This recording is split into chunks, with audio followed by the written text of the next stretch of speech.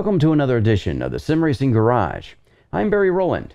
In this episode, we'll be reviewing the SimLab P1 Cockpit Upgrade Kit, an easy way to bring your existing P1 cockpit up to date on how the new P1X version of the cockpit is configured.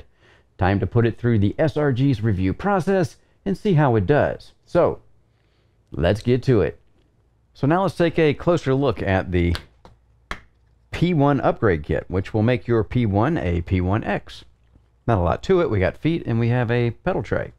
Now, you can actually get the feet separate from the pedal tray if you want.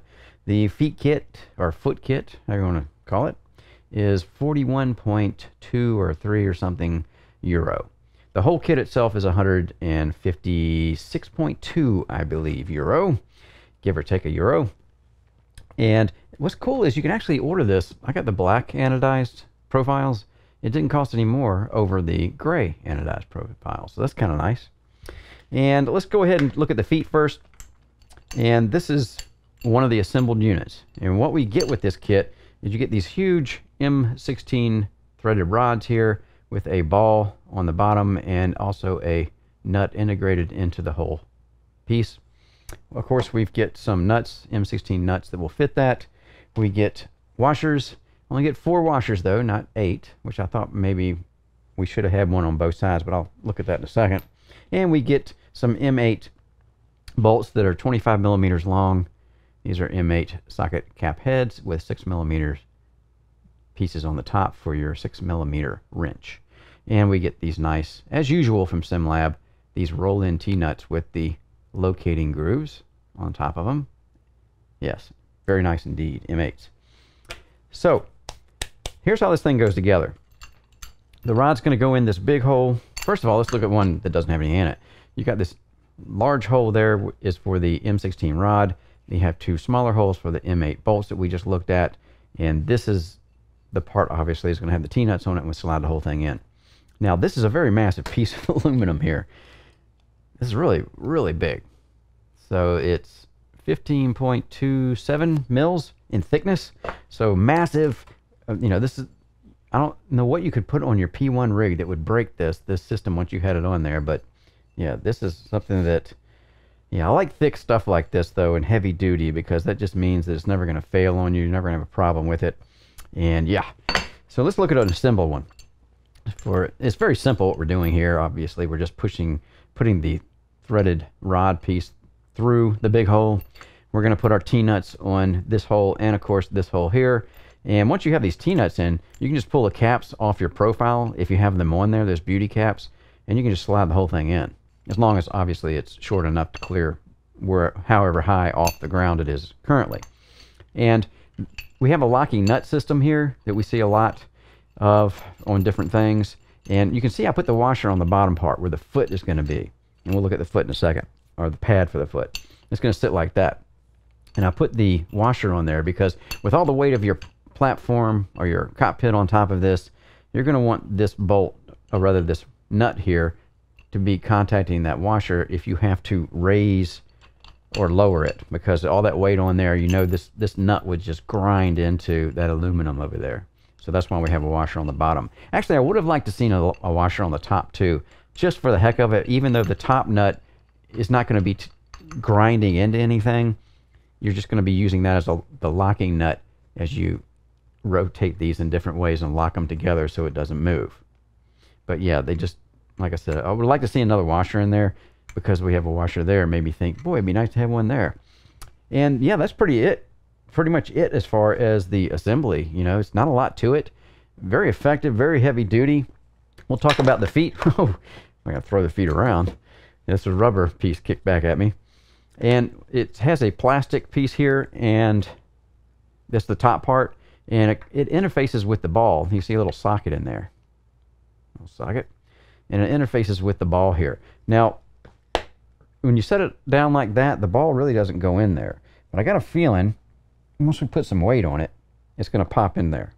And the reason we have a ball joint is because if you have some kind of unlevel surface that you have to set your P1 rig onto, or P1X, this will compensate for that. Let's take my little thing here. There we go.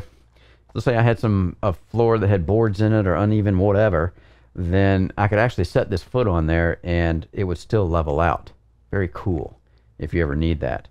And yeah, it's just, you know, thinking out of the box a little bit for what the feet should be able to do. Almost like if you had a motion actuator on it or something so it could move around freely. Now we have this rubber piece here that's a pad that goes inside. Not sure why they don't pre-assemble these, but whatever. Obviously we have a piece there that's cut into it that's going to fit this piece here that says says 80 on it. And it's not 80 millimeters because I measured it, so yeah, I'm not sure what 80 means. But yeah, it's a simple thing. You just place it on top of the plastic there and kind of work it in. It is rubber, so it, it, it goes on pretty easily. Now we'll have a nice sticky rubber grip on the bottom when this is sitting in there. Yeah, so I don't see anything else to show you. It's pretty simple affair here, really, for the feet. What else can we do before we move on to the pedal tray? They actually sent me this little guy, and this is what they call a headphone mount. And it's got a couple of holes on one side, that, and they give you some socket head cap M6 bolts that obviously will go in there from the inside like that. And they give us some 40 series profile M6 threaded T-nuts with the roll-in spring ball there. And of course that'll fit on the other side. That'll fit on the other side. And yeah. Pretty self-explanatory. Put it in the grooves or the channels, whether it's horizontal or vertical, it doesn't matter. And then tighten it down and you've got a nice little shelf there to hang your headphones or cabling or whatever else you want to put on there.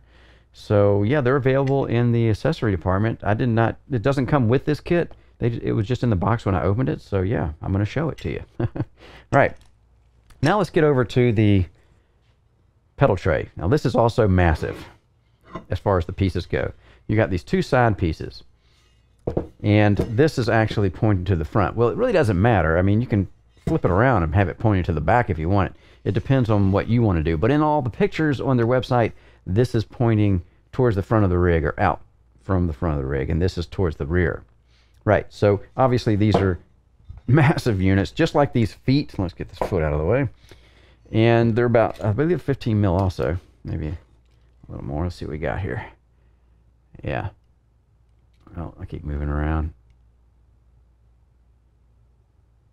Well, there we go. 1514. So, yeah, again, very substantial piece of metal in your hand. Just almost like it's overbuilt or something. It's just huge. And we get two of them because they're going to go inside of the P1's front chassis and also on the P1X.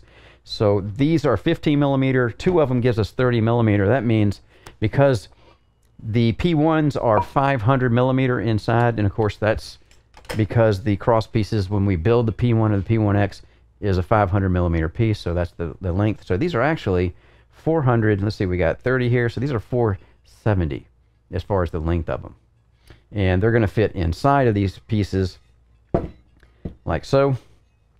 Well, you know, there's different ways you can do this. There's no real set way, and that's what I, I was wondering. I said, you know, how am I going to do this? It's, it's pretty flexible. We can mount this into the slot part here. Now, this is actually a 4080, and I want to show you this. They come tapped and threaded there. See the threads in there? So we're going to be attaching this, and this is the way they have it in the slot. So we can actually take this and slide it back and forth and make adjustments. Now the huge piece over here, this 4160. Now this is what our P1, P1 and P1X frames are made of on the base. Very large, substantial piece here. This is tapped on the ends. So we got a tap over here. See the threads there and threads here, but no threads in the middle too. They are actually kind of fixed on what we're going to do with these because the hole spacings here on this piece here fit those two end pieces. So that's where this is going, nowhere else. That's where we're going to mount it. Now, we can actually do something different with this piece because the spacing on it is the same spacing on the holes here. If I turn it this way, let me look down here and make sure I'm not making a false statement to you guys, but I've already did this once, so yeah. So we can actually mount this lower if we wanted to into the chassis for whatever reason right? And the, but the other piece is still going to be up here forming the backbone of the tray itself. So the rule for mounting this is there's kind of like no rules. so you can flip it around. You can, you know, you can actually put this thing upside down if you wanted to. I mean, like I said, as long as these slots here, and these are the main mounting slots right here. And if we flipped it upside down, then we could still mount this. You can see we've got two more holes on the other side. We could still mount this there if we wanted to. so again, there's no one rule on how to mount this, except for you're going to have this big piece, this 160 has got to be mounted in here somewhere, right? And if we flip this around, then it would be mounted, you know, it'd be sticking down lower like that for whatever reasons that you wanted to do it that way. But here we have how we're going to adjust the height is these slots, right? So we're going to be raising and lowering in, in, the, in those slots. Now, they give us a bag of hardware, as you might imagine. And there's a lot of pieces of hardware in here. So I'm assuming, and we're going to put this together, and we're going to see how it all works once we, it'll, it'll look, look a little different, I'm sure, once I get it all put together, and we can look at the options. It will be a little bit more clearer on what we can do. But I would imagine there's at least two M8 bolts in here for two channels. And then we're, we're raising it up and down based on that. And of course, we have in the base of a P1 or P1X, we've got four of those channels. So just like this, one, two, three, four. So we can actually put this in here. Let's just go ahead and stand this up. Maybe it'll look a little better. Black on black's not a good contrast for video, but we're gonna try. Okay. So yeah, this cane can sit here like this, and then we can move it. Actually, we'll do it like this because, well, I guess it doesn't matter, does it? these flathead pieces here, you don't want anything sticking into the profile, obviously. So we're to have some flathead screws that can go in here if we're to mount that 4080 piece in here somewhere, or we can put them up here so they don't interfere with anything. But here's what, I, what I'm looking at here. You can actually put this thing pretty high up in the air, up to the limits of these channels here. And that's about right there.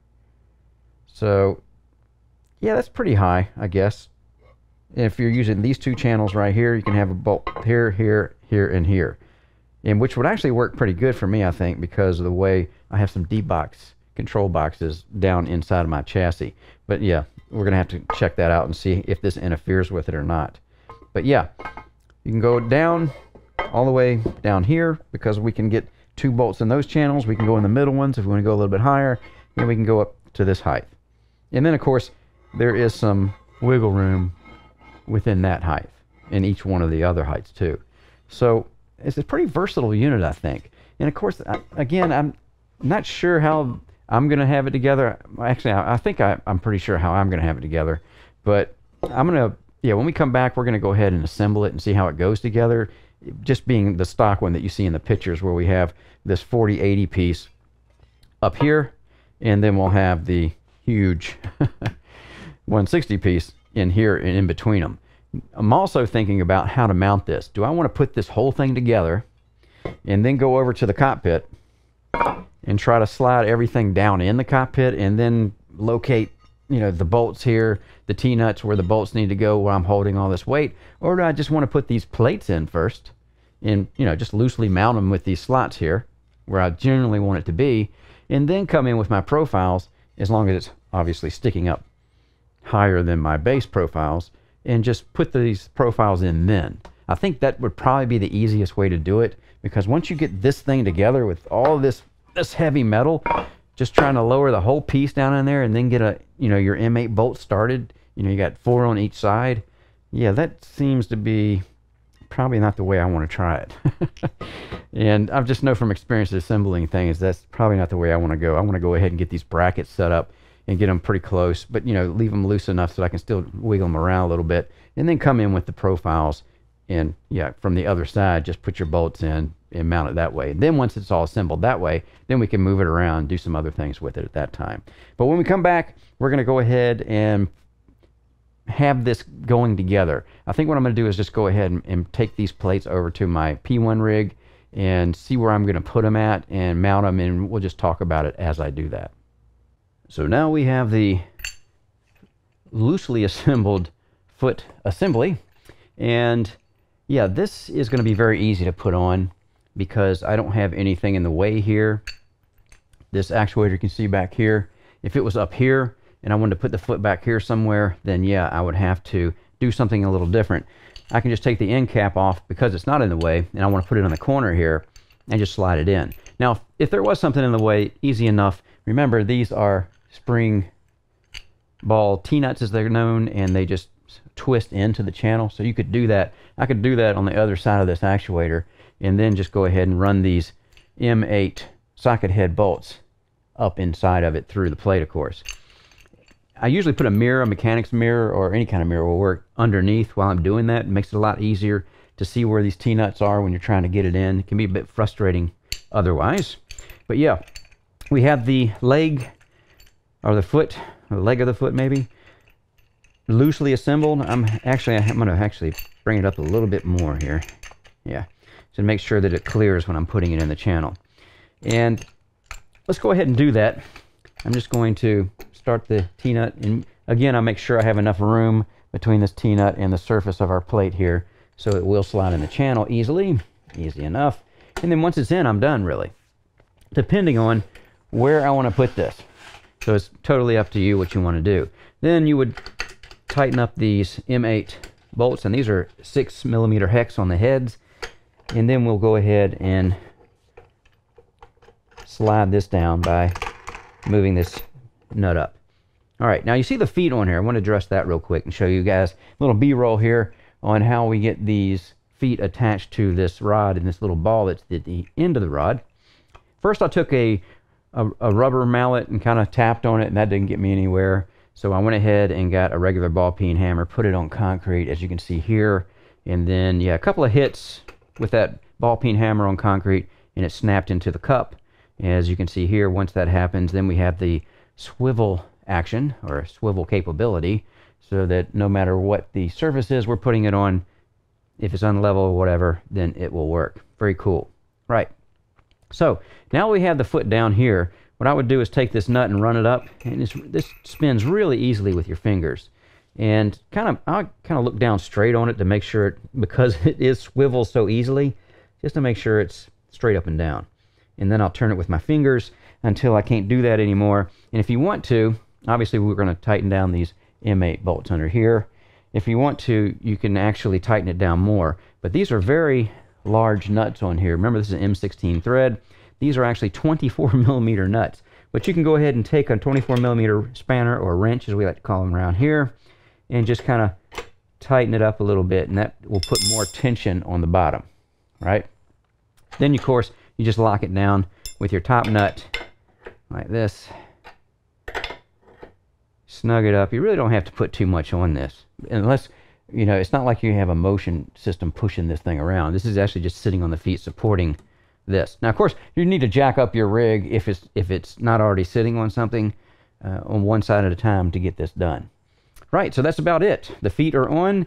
Looks pretty good. Very versatile, I think. You can actually switch this bracket around so that it's, you know, the angle's going the other way. You know, it's really no set way to do this except get these bolts in the channel, obviously, and get the foot on it. So what we'll do next is, yeah, we'll move on to the pedal tray for this P1 upgrade kit. I've got the side brackets mounted to our 4160 profiles and I think this is going to work better than trying to, like I said before when I was doing the closer look, pre-assemble this whole unit and bring it in here and try to hold it up while I'm trying to get nuts, these bolts into the nuts on the side. Of course, that depends, you know, on, you could do it either way. But I thought it might be easier to do this, easier to handle them piece by piece instead of the whole piece, the whole section that was already assembled. So we'll see how that works out. Now I have them loosely, again, assembled here. I'm watching the back edges here. I'm getting them even with the edges of the profile. In fact, this one needs to come back a little. All right. And I have the M8 bolts and T-nuts in the top two channels of this 160 profile because I'm going to be moving my seat up a little bit because of a different thing I'm doing over there and I just want to make sure this is high enough and this is right now it's sitting flat on the bolts on the first and second channel yeah and actually I can actually bring that up a bit as you can see see so that can go up a lot higher keep my cable out of the way there so now that we're even back here we should be even with our holes in the front here and as I said before I'll be using these flatheads and these are M8s also, of course, but just flathead bolts. They are 5 millimeter hex on the end of them here. So we're going to go ahead and get our 5 mil wrench. And I'm going to start with the front profile because it's the heaviest. So if I'm going to have problems, I'll start, I'll start having problems with the heavy piece. And first, uh, one thing I wanted to point out to you guys is when this you get these profiles, it doesn't matter if you, you get them pre-cut or if you get them, or you cut them yourself it's always a good idea to go on the edges because when the blade cuts through aluminum or anything, really wood, doesn't really matter, there's tear out on where it exits the material, in this case aluminum. And that leaves a burr, a scratchy burr on the edge. And sometimes there's a burr even on the top, depending.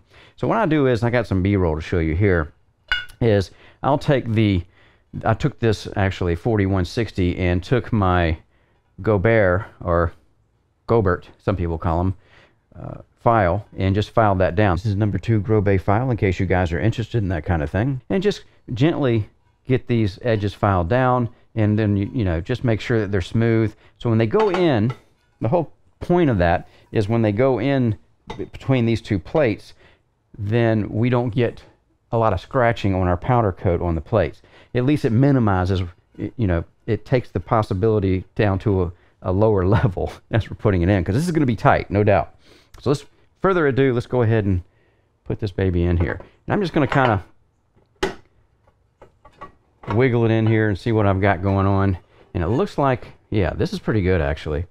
Now the only thing is, we've got holes we have to line up here. Unlike the slot that we have here, we've got two holes. And I want to make sure that, obviously, we get it to where it's going to line up. And I'm also trying not to move it around too much, keep from scratching it. Really, the only way to do this is to lean down and see where the hole is. So I'm going to be in the way for a second to get that started. And that started pretty good. Now, hopefully, this other hole, I won't even have to look down at that because I can just kind of raise it up and down and find out where it is. All right, so we've got these started. Of course, I'm not going to tighten them all the way down, but I am going to run them in far enough that I don't have any fear of stripping anything when I'm working on the other side, trying to get those bolts in. And I'm not going to let go of it either. I'm going to pick up my stuff and keep pressure, upward pressure on it. Then I'll go over here, switch hands, and do the same thing over here that we did on that side. Go over here and look, try to find my hole, and there it is. At least that, anyway, at least it looked like that's where the hole was. All right. It's always the, the second ones that go in. There we go, the hardest. All right, so I got that one started, and now this should line up pretty easily to get the last one started.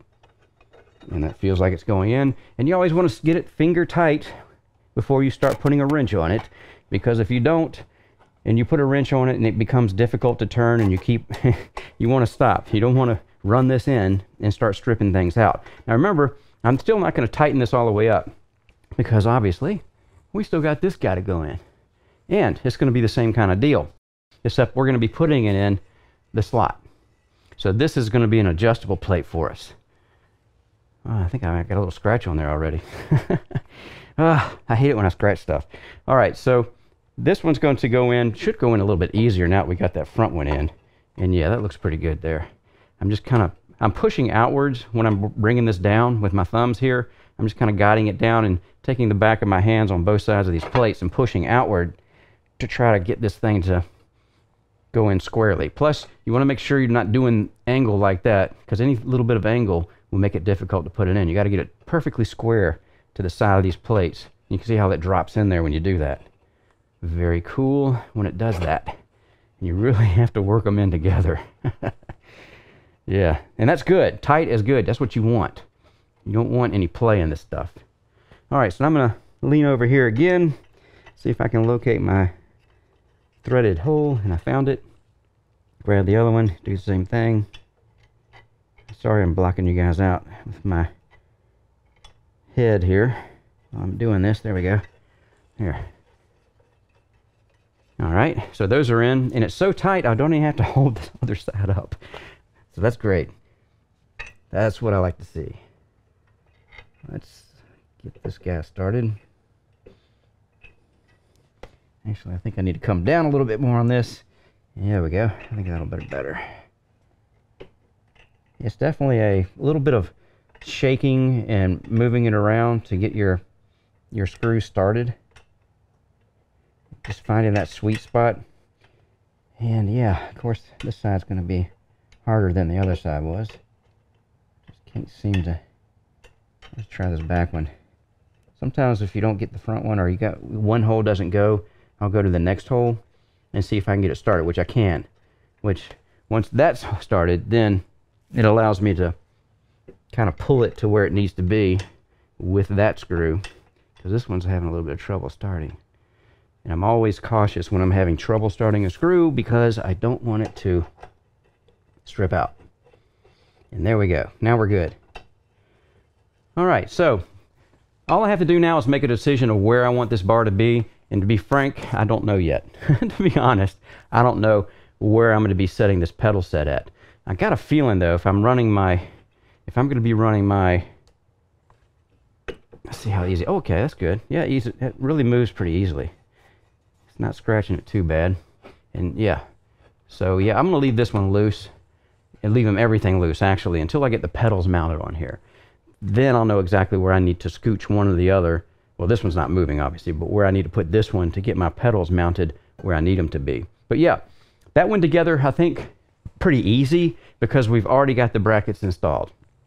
If I try to come in here with this thing tight already and then, you know, trying to grab it like this and hold it under an arm and get a bolt in here and all this mess, and it's very heavy. This is a 17 pound piece here that, yeah, I think doing it this way is easier. At least it was for me. Of course, you can do it any way you want to. It's your rig. So now that we've got this mounted, yeah, we got the, we did the foot or the, feet and now we have this mounted, so I can put the rest of the rig back together, get everything mounted back up, and get my cable management back in because this I had to remove it to get these plates in here. And yeah, when we come back, we'll have the, the rig completely reconfigured and ready to drive and take a look at how the pedals mounted up.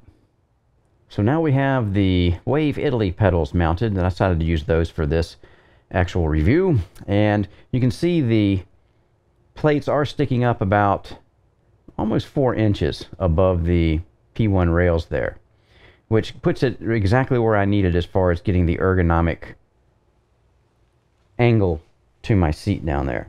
So my bum is level with my heels when I'm actually sitting in the rig itself, which is very comfortable when driving.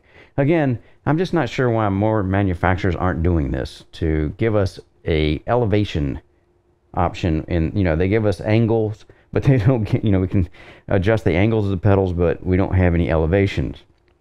But now we can with this P1 upgrade kit. And yeah, this is a very solid mount, as you guys might imagine. This is solid, it is rock. It's like, yeah, there's no flex at all in this. And there was no flex in the other one either. Now, one thing about this I'd like to point out is because we have four M8 bolts on either side of these plates, I no longer have the easy fore and aft adjustment feature here. We used to have a couple of knobs on each side of our 160 profiles here, and the brackets were attached to the profiles crossing the gap here, and it was easy to loosen those up and slide them back and forth if I had someone with longer legs or, you know, just needed to adjust it for whatever reasons. Much easier to do. Now we have eight M8 bolts we have to loosen up, and when we do that, because of the weight of the pedals being on the tray, it will have a tendency to drop down. And yeah, we don't, you just have to hold it up, bring it back, and yeah, push it back up to where you are and tighten it up. A little bit more difficult. However, because of the elevation I get and I no longer have to build a profile platform under my pedals, I'm happy with this, I think. it takes a lot of the effort out of having to cut profiles and get something custom built so that you can run your pedals at the right levels to your seat. Going to go ahead and walk around the front here and the other side. Watch out for the seat. And there we go. Yeah, this is working out real well. Again, solid as a rock. I have no problem at all with this setup. So, now that we have it all mounted, all we have to do now is get in the cockpit and do some driving. Now we're doing some testing of this pedal tray, and I'm looking for flex or any kind of undesirable characteristic that might rear its ugly head here under some really hard braking at Sebring and iRacing in the Ferrari 488. And yeah, there's there's no flex here. I think you guys can see that if you're watching this video and follow along here. It's very, very solid. And this pedal set is a very solid, solid pedal set also. And it definitely will, will reveal any weaknesses in the pedal tray that they're mounted to. And because they're a solid pedal set, if there is a less than adequate pedal tray underneath, you don't get the same tactile feel back from these pedals when you're actually using them. And yeah, here it's it's very solid and yeah, everything just feels really good. Easy to drive fast and hard because everything is predictable. There's no you know, bending in the pedal tray or anything that would cause us to be guessing what's happening next time I hit the brake pedal or I try to accelerate hard out of the corner. So, again, as you can see, very solid pedal tray and it delivers all the nuances that this pedal set can give, or any pedal set for that matter that you have mounted to it. They've done a very good job with this. Not that the other P1 pedal tray had any problems with flex either. It was also very stiff. But now we have this lift capability or an elevation capability here that we never had before, which I really like. Now, there is some something you lose. There's always a compromise, it seems like, isn't it? No matter what we do. there is some some loss of fore and aft mobility here as far as the ease of moving it back and forth. The P1 pedal tray has the knobs, two knobs on either side, and we can just loosen those and slide the tray back and forth. And that's good if you have a lot of different people coming in and testing your cockpit, which I do sometimes. But you know what?